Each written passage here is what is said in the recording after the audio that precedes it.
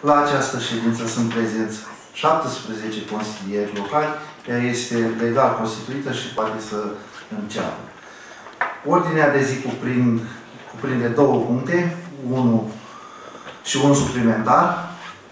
Vă supun la vot ordinea de zi. Cine este pentru? Împotrivă? Abțineri? Mulțumim frumos. Primul punct pe ordinea de zi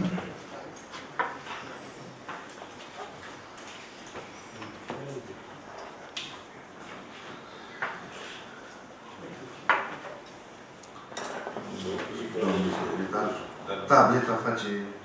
Da. Primul punct pe ordinea de zi. Avizul Comisiei uh, privind rectificarea bugetului local.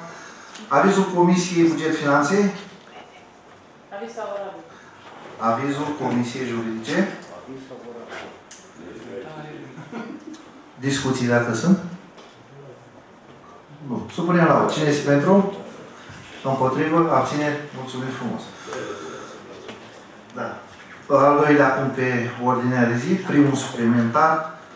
Domnul secretar dorește înainte de discuții să vă adreseze câteva cuvinte. Deci acest punct suplimentar a fost trecut pe ordinea de zi, urmare adresei numărul 13.523 din 7 august 2017, transmisă de către instituția prefectului județului Neamț, care menționează următoarea.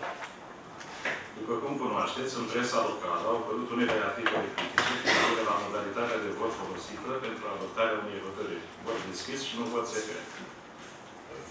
Ca atare, în vederea exercitării controlului de legalitate, vă rugăm să ne înaintați în regim de urgență următoarele. Procesul verbal al ședinței din 31 iulie 2017, expunerea de motive, avizele și rapoartele menționate în preambulul hotărârii numărul 152 din 31 iulie 2017, privind acordarea unor titluri de cetățean de onoare a municipiului Roma. Semnează domnul prefect și serviciul juridic. Așadar, articolul 45, alinea 5 din legea administrației publice locale, prevede Consiliul Local stabilește ca unele hotărâri să fie luate pe vot secret. Hotărârile de caracter individual cu privire la persoane vor fi luate întotdeauna prin vot secret, cu excepțiile prevăzute de lege. Procedurile de votare vor fi stabilite prin regulamentul de organizare și funcționare a Consiliului Local. Pe de altă parte, articolul 46, aliniatul 1 și 2, din același act normativ, precizează faptul că sunt nule de drept doar hotărârile adoptate cu participarea consilierului local, care fie personal, fie prin soț, soția, fi sau rude până la gradul al patrulea inclusiv, are un interes patrimonial în problema supusă dezbaterii Consiliului Local. Așadar, se poate discuta pe, și argumenta pe tema nulității adoptate, hotărâri adoptate prin vot deschis, în condițiile în care au fost respectate toate celelalte elemente de tehnică legislativă. Convocare, quorum, avize, rapoarte, număr necesar de voturi pentru. Un eventual litigiu în acest sens, putând fi soluționat exclusiv de către instanța de contencios administrativ. Dar pentru a evita o eventuală plângere prealabilă sau o acțiune la instanța de contencios administrativ, cu privire la modalitatea de vot folosită pentru adoptarea hotărârii invocate, se poate revoca hotărârea Consiliului Local numărul 152 și a adopta o altă hotărâre prin vot secret. Consiliul Local are competența de a modifica, completa sau revoca o hotărâre proprie, așa cum și instituția prefectului poate exprima un punct de vedere în exercitarea controlului de legalitate, care de regulă trebuie analizat și respectat. Mulțumesc. Mulțumim, uh, Mulțumim frumos, domnule secretar.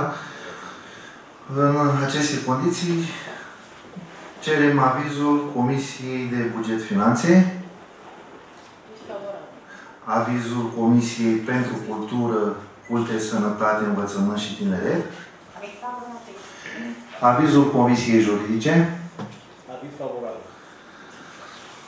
Bun. Având avizele favorabile, propunem uh, uh, înființarea unei comisii de validare, comisia de validare și o comisie de numărare a voturilor. Este trecut la articolul 3. Da. de moment. La articolul 3, ca scrie, la data intrării în vigoare prezentei hotărâri, HR 152 din 3107 se aprobă. Pe atunci să haideți uh, Comisia de Validare să se constituie domnul Beloiu, Mureșanu și Păiuș. Dacă era de cum de nu mai trebua nimic. Noi oricum, oricum, nu, nu, tot secret, cred. Deci era problema de vot secret la vederea, la vot. Mai nu mai sunt în discuție. A, vot cu bine. Cine alfabetică și Procedura alfabetică nu e o pretine de vot. Votul pentru se exprimă prin lăsarea neparat a numelui candidatului ales. Votul contra se exprimă prin bararea numelui candidatului nedorit. Votul majorității consideră că funcție este necesară.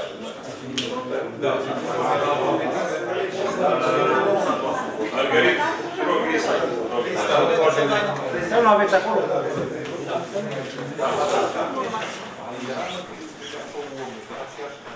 Bun, haideți să începem procesul de numărare a voturilor. Domnul Achiriloae Leonar, absent. Domnul Andrieș Bogdan.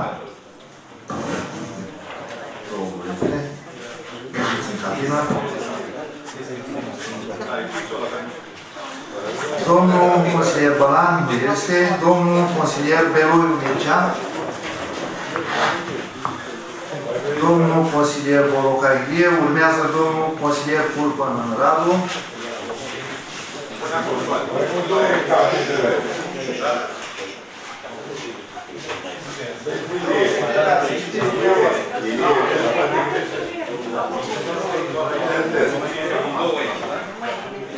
va zice?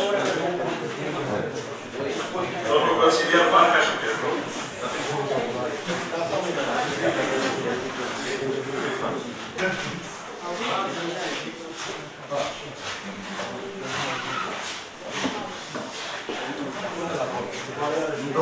Domnul consilier Front. Dar nu cred că vă trebuie. Domnul consilier Dica. Doamna consilier Havlici Tomșailia.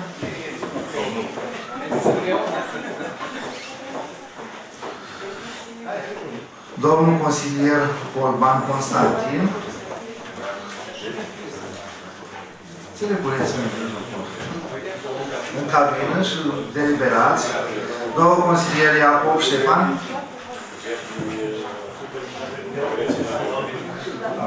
Să nu se creeze confuzii.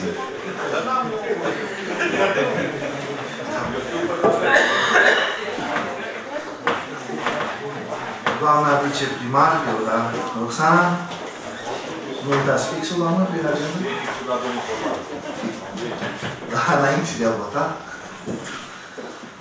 Domnul consilier Armanu,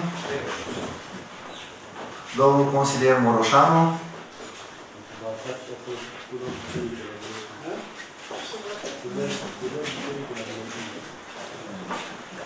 domnul consilier Curcudel,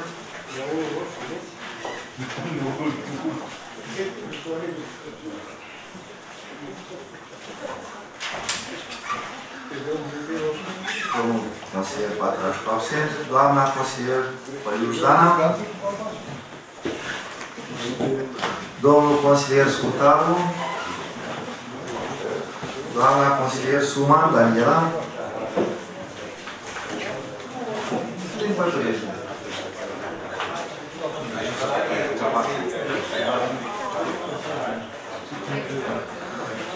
Și domnul consilier Vasiliu absent.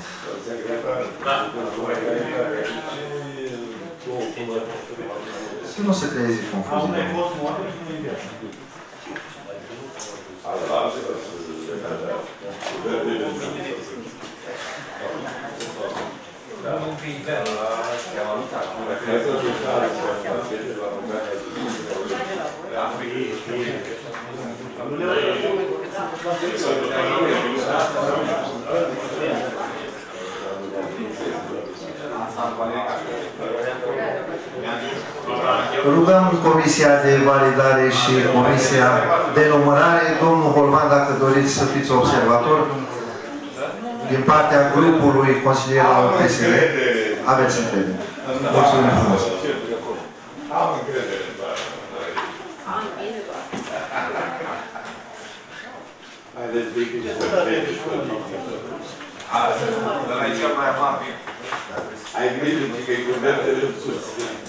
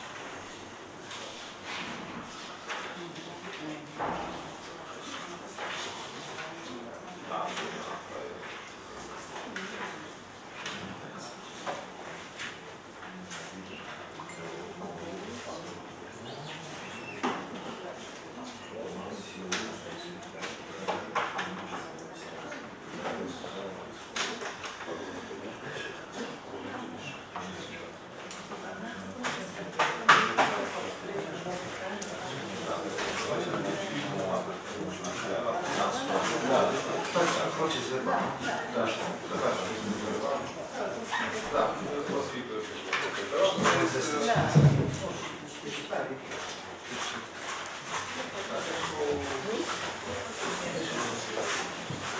Domnul Beloreu, să anunțați rezultatul numărării voturilor. Da, în urma numărării voturilor au, au exprimat uh, votul 17 consilieri, din care uh, 4 au fost împotrivă și uh, 13 au fost pentru. La două persoane. Pentru ambele persoane, la fel.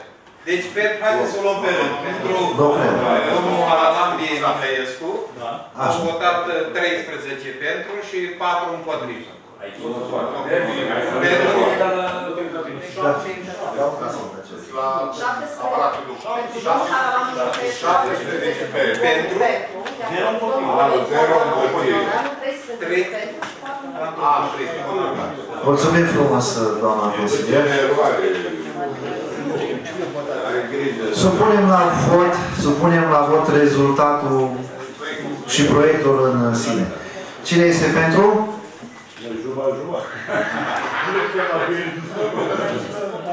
Supunem la vot proiectul. Tot proiectul și rezultatul votului. Rezultatul votului.